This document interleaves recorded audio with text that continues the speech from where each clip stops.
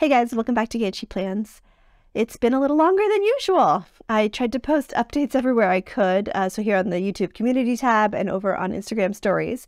But a few weeks ago, I decided to make a kind of radical shift in my content schedule and move away from an output focused mindset to an input focused mindset.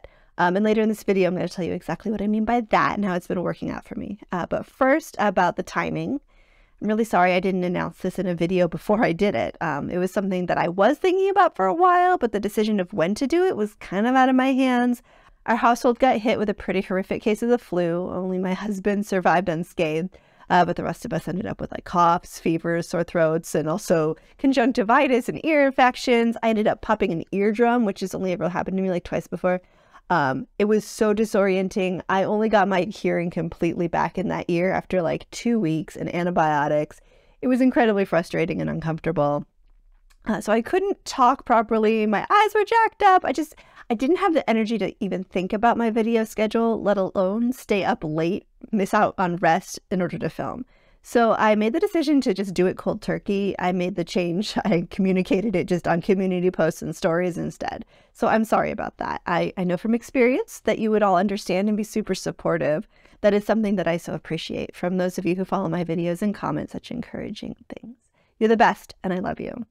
So um, I was sick, but it was really getting time to make the change anyway, since I'm always so exhausted during my first trimester. Um, yeah if anyone was eagle eyed enough to notice in the last video that I did publish, uh, which was my April flip through, I very awkwardly skipped a few pages with, like, I don't want to tell you about that yet. Um, but if you had paused, I think you would have been able to tell it was insert 40 from the shop, the pregnancy tracker bundle. So yeah, we're due in early December with baby number four. Um, and I'm about 12 weeks now. So I'm getting closer to the light at the end of the tunnel. But from experience, I just know that like my job this early in pregnancy is just to nap as much as possible because I get so tired.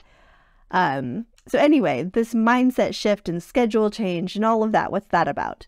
Previously, I had been sticking to a pretty rigorous content schedule, but I've been sticking to it really well. Uh, but there was one longer video on Thursdays, and then Instagram photos on Wednesdays and Sundays, and Reels on Mondays and Fridays, and then the YouTube Shorts, which were like repurposed Reels and clip versions of longer videos. Those were on Tuesdays and Saturdays. And then there was like a poll on Tuesday. I honestly wonder if any of you noticed 100% of that. It was it was just starting to feel like a lot of busy work and I simply didn't have time to devote to getting any of it to a high enough quality that I could be really proud of anything but just the sheer volume. Uh, I am proud to say that I never missed a deadline, but it wasn't really sustainable.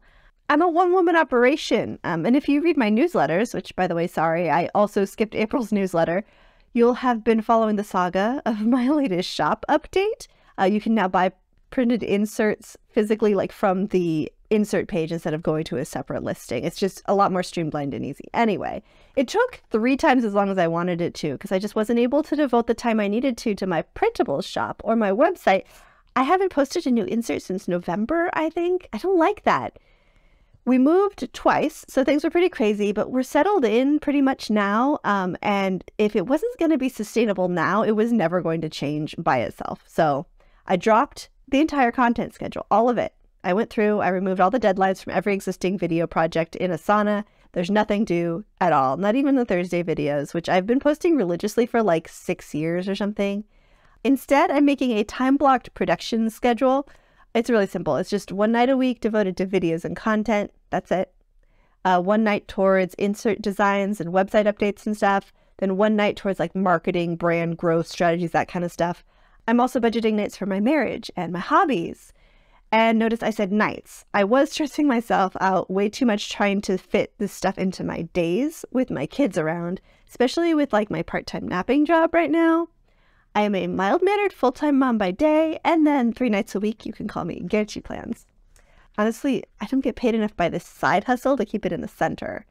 And it's been going pretty well so far. I mean, I really like the work life balance that it's been offering, the ability to focus on my marriage, my kids, my home, and just my mental health over the productivity. Um, my hope is that I'll be able to focus on quality over quantity to my videos and produce stuff that I'm genuinely proud of. Um, the I am going to still throw up an easy planner flip through once a month because those are the easiest videos for me to do anyway to make. And they always get the most views of anything I do anyway. So I was really worried that abandoning the content schedule would make me lazy and that I'd use it as an excuse to like perfectionize the video process and then never release anything. So I guess judged by like how many weeks it took me to get this out, you'll be able to tell whether this is having a negative impact or not. Um, I hope that the quality of this video maybe speaks to the effort it's worth. I put a little extra effort into like the lighting um, and the script, uh, but I'm going to try to stick with this schedule for a while and see where it takes me. If you care about what I'm doing here at Ganchi Plans and want to lend your opinions to the decisions I'm making about what's in the content, um, please, if you haven't already, you can go check out the polls that I posted. So there's a bunch on the YouTube community tab on my channel page. If you click my channel name down there, and then the community tab will be at the top. You scroll down until you see me looking all so empathetic, um, and then scroll back up and from there, and you'll see the the polls. And then also over on Instagram, especially if you follow me there also, um, I have a story highlight on my profile with more poll questions that are kind of specifically about Instagram.